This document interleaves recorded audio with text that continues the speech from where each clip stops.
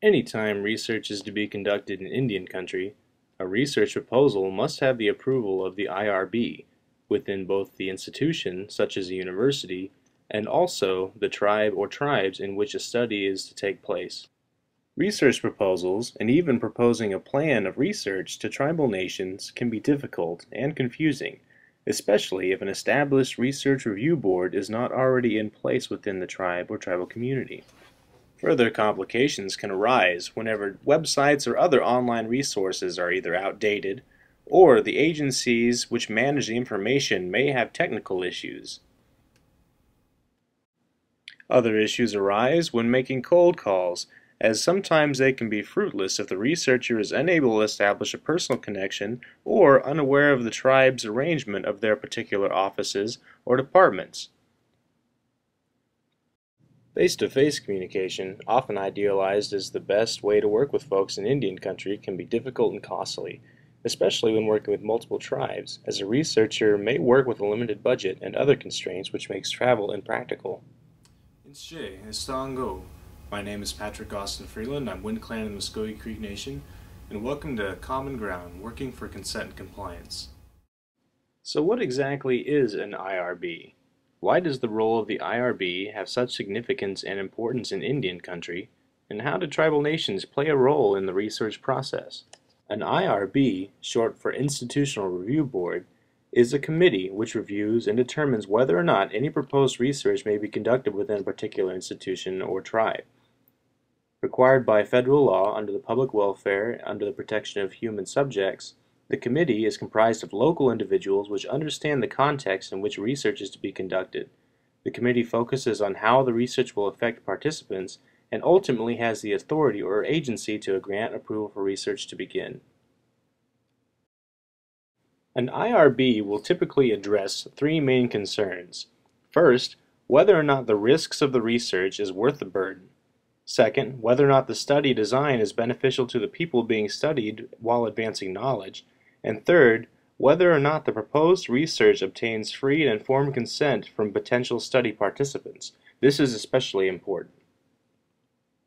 All research has some degree of risk and burden, whether it's risk to the individual's privacy or the burden of filling out a survey. It's up to the IRB to determine if the risks and burdens associated with the proposed research ultimately benefit the community.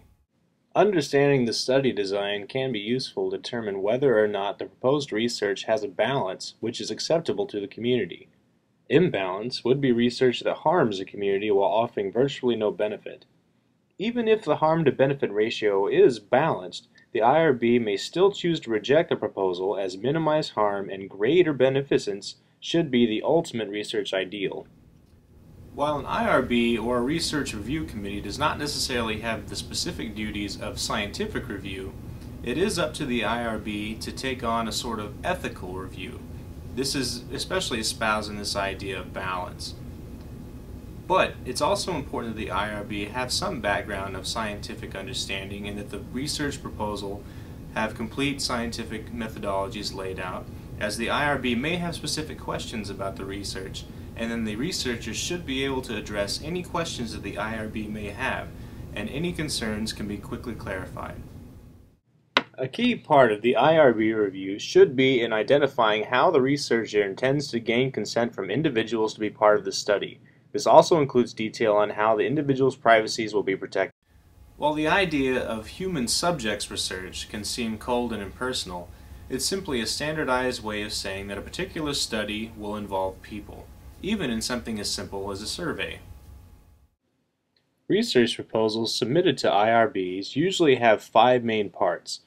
The first is an application, which contains basic categorical information, investigators, institutional information, and more, depending on what the IRB may require. The second part is the research protocol, which specifically outlines the study design and how data will be obtained from individuals. The third part is usually sample documentation of how study participants will be given informed consent. The fourth part will be all materials which will accompany the study, as, which, as well as materials which will be utilized for recruitment into the study. And finally, the proposal will include supporting materials such as letters of support, researcher qualifications, or other materials. The review board may have questions about particular aspects of the research, in which case the researcher has the obligation to address any inconsistencies, concerns, or vagaries which may make the particular section of the research proposal unclear. This can usually be accomplished with a phone call or a teleconference. The board may have ethical concerns with the research, in which it is important for the committee to deliberate and understand the risks and benefits, the study design, and the consent and protection of potential study participants. Finally, once the IRB has addressed any and all concerns with the research and weighed the pros and cons, the board will either approve or deny the research. Should the board approve, a letter of support should be drafted which explicitly states that the board has reviewed and accepted the research proposal, and subsequently signed and submitted to the researcher so the research may begin. The researcher, with the approval of the IRB, will begin to conduct research within the explicit confines of the study design, and should any modification be made to the study, must be approved first by the IRB. It is also important to note that data from the study may not be used in other studies without IRB approval. Thank you for watching. Once again, I'm Patrick Austin Freeland, in service and friendship, Maro. Special thanks to Dr. Linda Prokopy, in the Natural Resources Social Science Lab of the Department of Forestry and Natural Resources at Purdue University. Also, special thanks to the Ecological Sciences and Engineering Interdisciplinary Graduate Program and the Native American and Educational Cultural Center.